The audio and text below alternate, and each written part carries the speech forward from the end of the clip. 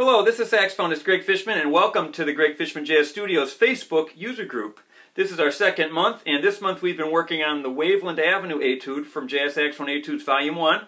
I'm just going to play the piece down just so you can kind of check out the articulation and just kind of get a feel for how I'm doing it. One, two, uh, uh, uh.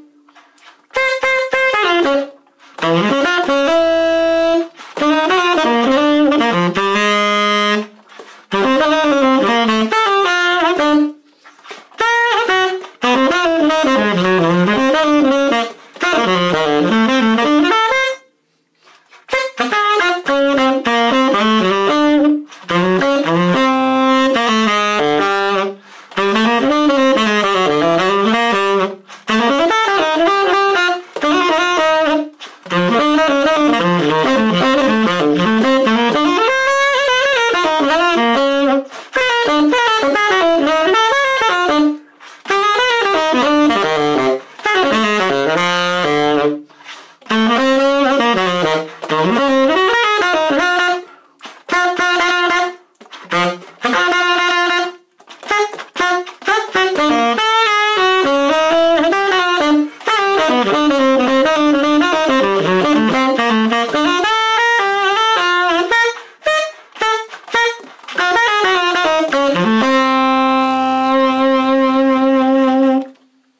like to talk briefly about mainstream articulation. This is the idea of tonguing the upbeat and slurring into the downbeat, and this is pretty much what I'm using, not 100% of the time, because sometimes I do like to tongue a downbeat, but most of the time when I have moving eighth notes, this is what I use.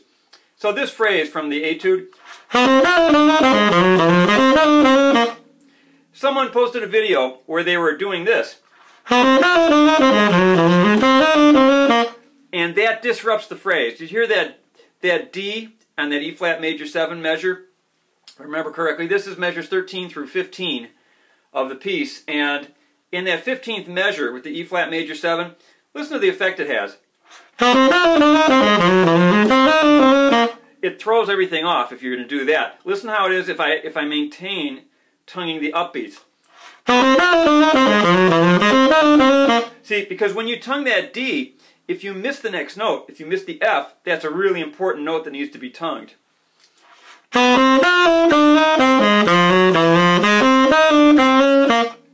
So, practice doing it like that, even if you have to slow it down like that, just to get the feel for it. Now, one kind of funny thing I did when I was a kid to practice this, I would sometimes do this game where I would say, okay, I'm just going to do 100% wrong. I'm going to do the opposite of what I want. So I'm going to tongue all the downbeats, not the upbeats, just so my ear can really hear a clear difference between the right way and the wrong way. Okay?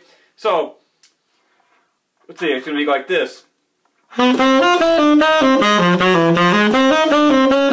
It feels so strange to play it like that, but that's tonguing the downbeats. And now we're going to do it again. I'm going to tongue the upbeats.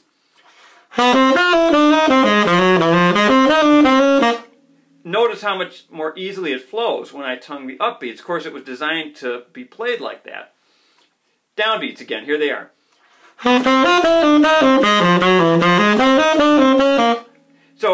This is really good if, if people are having trouble getting the feeling of what it's like to tongue the upbeats, you tongue all the downbeats so you can feel that and then you just feel what it's like to do the reverse. Okay?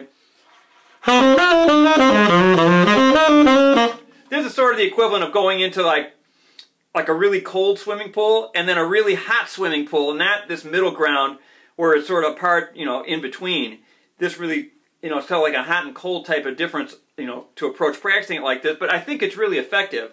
Okay, so what I'd like you to do this week, you can pick any stream of eighth notes, anything where you have continuous eighth notes for maybe two measures to four measures. Practice it both ways, and ultimately you're going to want the one that is where you're tonguing the upbeats, but if you want to customize it once you can do that, that's cool. You can go sort of like a Sonny Rollins type of approach, okay? Or if you want it really smooth, you can do that too. So, you know, it's open to interpretation. All I'm saying is, first get it with the basic mainstream tonguing, and then you can experiment and add um, a little bit more aggressive uh, tonguing style if you like. Okay?